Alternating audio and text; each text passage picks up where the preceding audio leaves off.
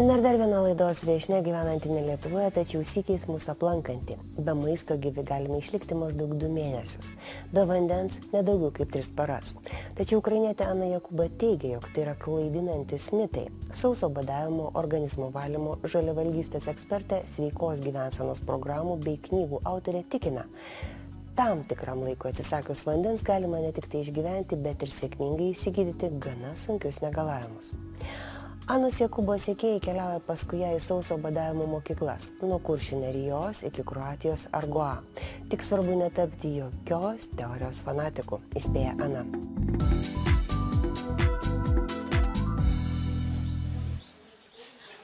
Lietuva puikiai šalis sauso badavimo praktikai. Čia tokia ramybė pusiausvėra iš žmonių ir iš gamtos klinda, sako Ukrainos sauso badavimo ir žaliavalgystės mokyklos įkūrėja Ana Jakuba Į jos rengiamą sveikatos gerinimo stovyklą suvažiuoja žmonės iš įvairių pasaulio šalių.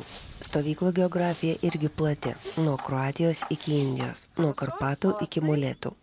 Būtent čia vienoje iš kaimo turizmo sodybų neseniai kurį laiką gyveno ir badavo devyni Anos prižiūrimi stovyklautojai. Atitrūkę nuo įprastos kasdienybės, jie savo kailių išbandė, kasgi yra tas sausas badavimas. Сухое голодание – это когда человек и не ест, Sausas badavimas yra toks, kai žmogus ir nevalgo, ir negeria. Bet to sausas badavimas būna dviejų rūšių - griežtas ir minkštas. Griežtas, kai nevalgoma, negeriama, nesimaudoma, neplaunamos rankos, nėra jokio kontakto su vandeniu. Bet jeigu žmogus nevalgo, negeria, tačiau maudosi, neatsisako vandens procedūrų, plauna rankas, tai jau yra minkštas sausasis badavimas. Sertifikuota sauso badavimo mokytoja teigia, kad šis organizmo valymo būdas pirmiausia labai praktiškas ir patogus nuolat laiko neturinčiam šiuolaikiškam žmogui. Tačiau kodėlgi reikia atsisakyti vandens, juk visuotinai žinoma, kad jis yra svarbiausia gyvybės sąlyga. Вода ничем не плоха. Она, наоборот, она человеку нужна. И воды должно быть достаточно. И в обычной- Vanduo nėra blogai, atvirkščiai, žmogui reikalingas ir jo turi pakakti. Normaliai gyvendamas, kai nebadauja žmogus, vandens turi gerti užtektinai ir daug. Vandens niekas negali pakeisti. Žmonės, kad gautų maksimalų išsivalymo badų rezultatą, gerdami vandenį badauja 40 dienų, o badaujant be vandens tas laikas sutrumpėja. Negerdamas vandens žmogus per trumpesnį laiką pasiekia didžiausią efektą. Kadangi pastaruoju metu esame vis labiau užsijėmę, turime vis mažiau laiko, ar galėtume leisti savo vieną du mėnesius pasiruošti badui, paskui 40 dienų badauti gerdami tik vandenį, o paskui dar mėnesį grįžti prie įprasto gyvenimo. Esant dabartiniam gyvenimo tempui tai tiesiog neįmanoma, o sausai badaujant per trumpesnį laiką gaunamas didesnis efektas ir greitesnis. Esame įpratę manyti, kad be maisto žmogus gali išgyventi ilgai, o be vandens viso labo tris dienas. Ana tai vadina klaidingų stereotipų. Juk daugybė jos sekėjų apsina be vandens dešimt ir daugiau dienų, tačiau iki šiol tebėra gyvi. Moteris juokauja, kad šio metodo autorius esas ne kas kitas, bet Jėzus Kristus, kuris prieš ateidamas tarnauti žmonėms 40 dienų pasninkavo dikumoje be maisto ir vandens. Ir jau visai rimtai priduria, kad sausasis badavimas padeda tada, kai tradicinis badavimas yra bejėgis. Сухое голодание решает более кардинальные вопросы. Почему? Э, Потому что когда не поступает... Sausų badavimų išsprendžiamos rimtesnės problemos. Kodėl? Todėl, kad organizmas, kai negauna vandens, yra priverstas pats vandenį sintetinti. Be jo negali funkcionuoti. Mokslininkai įrodė, kad visi žinome, jog yra gyvas ir miręs vanduo. Toks patys būna mūsų в organizme. нашем организме. Водное голодание не решит эту проблему. Badavimas geriant vandenį problemos neišspręs, nes blogos struktūros vandenį, mirusi vandenį gali pašalinti tik tai sausas badavimas. Mokslas rodė, kad blogos struktūros vanduo pasižymi kitokią energiją ir dėl to randasi onkologinių lastelių. Tarkime, jei netinkama medžiagų apykaita yra hormoninių sutrikimų, badavimas geriant vandenį vargiai padės, nes organizme vanduo netinkamai pasiskirstęs. Kodėl paburksta rankos, kojos, pakiai? Kai kuriuose lastelėse vandens daug, kai kuriuose jo nepakanka. Sausasis badavimas vandenį perskirsto. Tai visiškai kitoks mechanizmas ir visiškai kitoks efektas.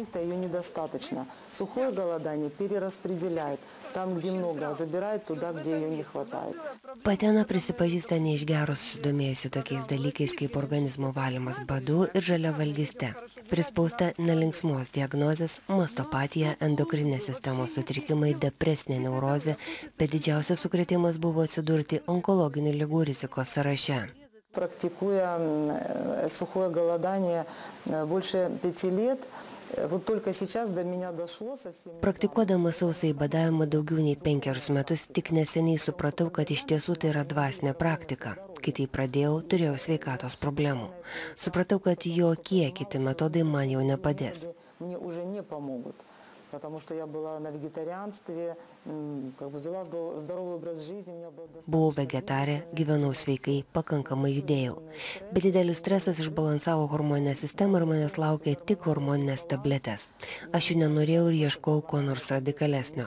Šis būdas padėjo man, kitiems žmonėms ir dabar, kai jau penkerius metus turiu savo mokyklą, važinėjau po įvairius pasaulio miestus, matau, kas vyksta su žmonėmis po ilgalaikio sauso badavimo, kaip keičiasi jų gyvenimas, kaip pildosi svajonės. Тут мечты сбива- сбываются. Это, ну, кажется, уже так это заезженная эта тема, что с трудом верится. Tačiau jeigu pasiklausę apie stebuklingai bei išsipildančias svajones ruošiatės jau nuo rytojos nebeimti į burną nie kasnio maisto ir negurkšnio vandens, Ana Jakuba įspėja - jokių būdų to nedaryti. Ilgalaikis badavimas jo labiau vandens reikalauja ne tik tam tikrų žinių, bet ir specialaus pasirengimo. Nuo saviveikla gali baigtis rimtomis pasiekmėmis sveikatai. Это неправильно. Нужно понимать, что, ну, все понимают, что голодание это серьезно. Tai neteisinga, reikia suprasti, kad badauti yra rimta. Žinoma, pavojinga, kai žmogus nėra pasiruošęs badauti. Apie tai nieko nežinant pakliuvama į situaciją, kai sakoma, jog po trijų dienų be maisto ar vandens numirsi. Iš esmės žmogus miršta iš baimės. Tai suprantama tiems, kurie atvažiuoja į mokyklą, moraliai nusiteikia į savo organizmą pasiruošę. Į mojai školį maksimaliniai sroki galadanie, nu, kaip masavo tokio galadanie, tai 11 sutak. Mano mokykloje ilgiausiai badaujama 11 parų, bet buvo atvejs, kai vėžio diagnozę turėjusi moteris badavo 14. Kai žmogus tinkamai pasirengia, kai yra grupė bendraminčių tokioje nuostabioje vietoje kaip šis kaimo namas, kur viskas padeda, tada tai visai kas В kita. прекрасном э, сельском доме, где все здесь помогает, э, тогда это совсем другое. Patena neslėpia ilgiausiai sausai badavusi 9 dienas, taigi jokio rekordo. Sveikos gyvensenos ekspertė nuolat pabrėžia, kad lenktynių čia būti negali ir visus savo konsultuojamus žmonės pirmiausia ragina netapti tokio metodo fanatikais. В планах было э, у кого-то 7 дней проголодать, у кого-то 9. Вот на сегодняшний день... Vieni planavo badauti septynias dienas, kiti devynias. Šiandien yra šešta badavimo para. Dalis žmonių jau baigia badauti. Kai kurie patys pajuto, kad užteks. Kai kuriems aš pasakiau, kad kaip pirmą kartą pakanka. Kai kas tęsia septynių dienų badavimo planą. Stebiu konkretų asmenį, kaip jis jaučiasi, kaip elgesi, kokia jo nuotaika. Kartu priimame sprendimą, jokios prievartos nėra. Tai savanoriškas dalykas.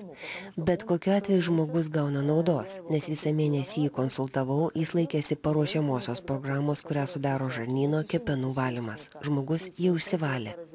Ir jeigu sausai badavo tris dienas, padauginkite jas iš trijų. Tai tas pats, kas 90 bado dienų geriant vandenį Умножайте на 3. Это все равно, что 9-10 дней водного голодания. Svarbu ne tik tai rimtai pasirengti sausam badavimui, tinkamai jį pradėti, bet ir tinkamai pabaigti. Tam mano taip pat turi parengusi specialią programą. Jie talkina sunus Dimitrijus ruošiantis badautojams tam tikrus gėrimus, pavyzdžiui, iš fermentuotų kopūstų ar avižų kruopų. Расскажу. Я взял капусту обычную белокочанную, взбил ее в блендере и смешал с водой. И оставил это все ферментироваться на кухне в этом бутыле.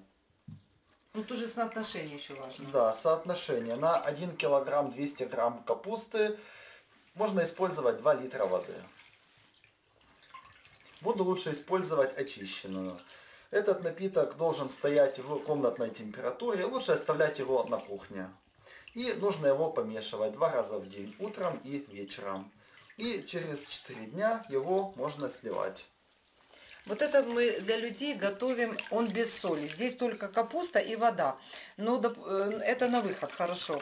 Э, Можно его такой готовить. Но можно готовить более такой вкусный, более пряный. Многие любят, чтобы такой был вкусный, более острый привкус. Тогда можно добавлять э, ча- чайную, ну там по соотношению, немножко соли, немножко меда мы добавляем, сахар не добавляем, и э, горького перца немножко, И да? тмина всё? А, и тмина можно еще, тмина или каких-то специй. И потом, когда сливаешь, у него такой получается более пряный такой привкус.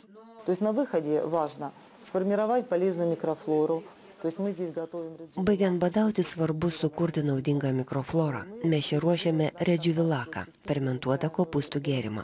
Atsivežėme valomosios karpato arbatos, tai speciali metodika. Jei jos laikaisi sveikatai tikrai nepakenksi. Svarbu suprasti, jei žmogus susiruošė ilgalaikiam sausam badavimui, jo laukia trys etapai parengiamasis, bado ir atkuriamasis.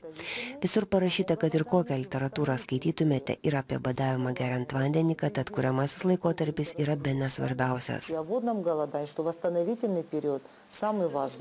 Nors seną Jakubą jau galima vadinti šio metodo veteranai, neslepia, kad toks ilgalaikis badavimas ir jai pačiai tebėra išbandymas. Todėl paprastai jį badauja kartu su drauge. Sako dviese lengviau. Nemažai žmonių jo stovyklas atvažiuoja tiesiog šeimomis tai palaikydami vienas kitą. Iš tiesų, sausasis badavimas nieko nauja, teigia Ana. Užtenka prisiminti religinius pasninkus. Tačiau ne vieną gerą sveiką įprotį ilgainiui užmušė šio laikinio žmogaus troškimas greitai gyventi, daug valgyti, o negalavimus įveikti greitai suveikiančią tabletę. Знаете, что самое интересное? Перед каждым длительным голоданием все равно присутствует... Žinote, kas už vis įdomiausia? Prieš kiekvieną ilgalaikį badavimą vis tiek jaučiu vidinę baimę ir įtampą. Manau, tai mūsų pasąmonė, savisaugos instinktas, kuris pagazina tuo vidiniu šaltuku. Šiuo metu mūsų mokykloje moteris badauja jau 11 parą. Ji badauja su visa šeima, pasiekia labai gerų rezultatų. Dukrelė nustojo sirgti, mamai dingo nepakenčiami galvos skausmai. Žmonės įsigelbė nuo tablečių, operacijų pagyja natūraliu, necheminiu būdu. Negalėčiau pavadinti savęs veterane. Esu tikra, kad pasaulyje pilna tokių žmonių, tiesiog mes mažai žinome. Kur nors Tibeto kalnuose vienuoliai, stačiatikių vienuolinuose yra tikrai didysis pasnikas ir daugelis žmonių laikosi griežtos cerkvės tvarkos.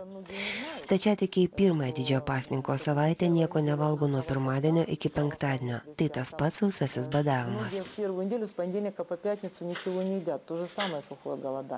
Многие в первую неделю с понедельника по пятницу ничего не едят. То же самое сухое голодание. Ana maitinasi sveikai, dažniausiai žaliavalgiškai, tačiau ir čia vengia aklo užsispyrimo. Mat nemažai eksperimentavo su vairios mytybos rūšimis ir galo padarė išvadą, kad tai taip pat gali tapti priklausomybę. Todėl, nors apskritai mėsos nevalgo, svečiuodamasi pas mamą neatsisako jos ukrainietiškų barščių. Šį juk laukia viešnios, gamino ir stengiasi. Я уже слышу свой организм.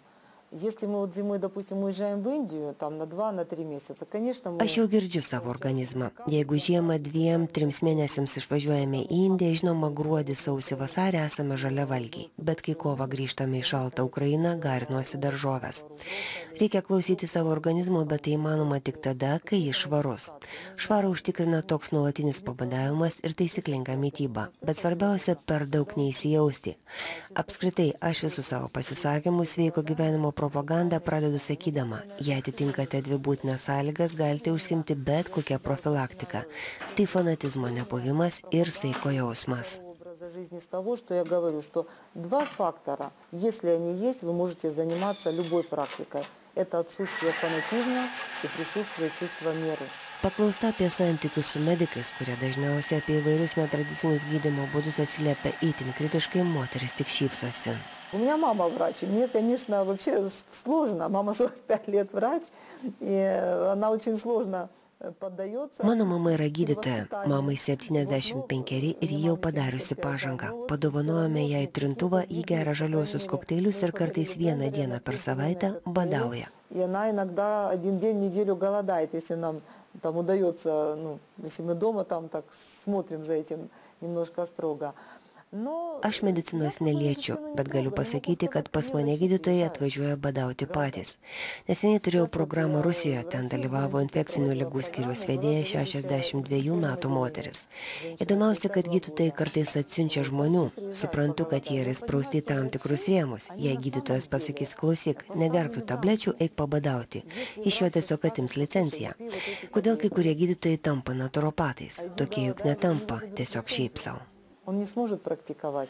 Почему вот врачи, которые становятся натуропатами, они же не становятся просто так? Ana Jokūba tikina, kad sausasis badavimas ne tik išvalo organizmą ir padeda nusikratyti lygų. Esminis efektas įvyksta tada, kai pasiunti laisvas nuo daugybės tave kaustančių dalykų - visuomenės, reklamos spaudimo, įvairių priklausomybių, o svarbiausia nusipurtai žmogų nuolatos gyvenime lydinti baimės jausmą ir pradedi kritiškai mąstyti. Тебе всегда говорили, ты читал, что три дня без еды, без воды человек умирает. А тут проходит три дня, четыре, Tau visi sakė ir esi skaitęs, kad trys dienos be bado, be vandens ir žmogus miršta. O štai čia praeina trys dienos, keturios, penkios, septynios, vienuolika, bet tu vis gyvas. Baigęs badauti pradėjai geriau girdėti, geriau matyti, nebeslenka plaukai, nieko nebeskauda. Kai tau vėl bando kažką primesti, jau ėmė abejoti. Galvoji, jeigu apgavo kartą, galbūt ir šįsi kažkas ne taip. Svarbiausia, ką duoda ilgalaikis badavimas, žmogų palieka baimė. Я 28 лет отработала на одном предприятии, на одном месте. Как мне было страшно встать и уйти. Потому что я... Aš 28 metus išdirbau vienoje vietoje. Kaip man buvo baisu atsistoti ir išeiti, nes pripratau, kad 10 dieną gaunu algą, o 20 avansą. O jeigu susirksiu, susilaužysiu koją, o kaip socialinis paketas. Bet po badavimo galvoje viskas apsivertė. Anksčiau abejodavau, gal nepasiseks, o dabar viskas pasikeitė. Kaip tai У nepasiseks? Как это не получится? Я смогла, проголодала, да? У меня получилось, я стала себя лучше чувствовать. Я не пью гормональные таблетки. Aš sugebėjau badauti, geriau jaučiuosi, nebegeriu tablečių, esu išbraukta iš onkologinių lygų rizikos sąrašo, svoris sumažėjo. Pamačiau, aš tai galiu. Būtinai pasiseks. вот эту смелость, вот эту решимость идти вперед и не оглядываться там. Что скажут люди? А вот, а что там написано в рекламе? Atsiranda ryštas ir drąsos eiti pirmin, nesidairant, ką pasakys žmonės, kas parašyta reklamai. Supranti, kad nebūtinai turi eiti paskui minę. Teisingais keliais vaikšto vienetai. Tu ieškai savo kelio ir jį atrandi. Это не всегда правильно. Правильным путем идут единицы. Единицы. И ты ищешь свой путь, и ты его находишь. Taigi, nebadaukite be reikalo ir netapkite maisto fanatikais. Tiek šį vakarą mūsų pasakojimų, tuo tarpu dėkojame, jog esate kartu su mumis ir domitės įvairiausiais požiūriais. Susitikime kitą savaitę. Visas mūsų laidas galite matyti mediatekoje. Likite sveiki ir laimingi.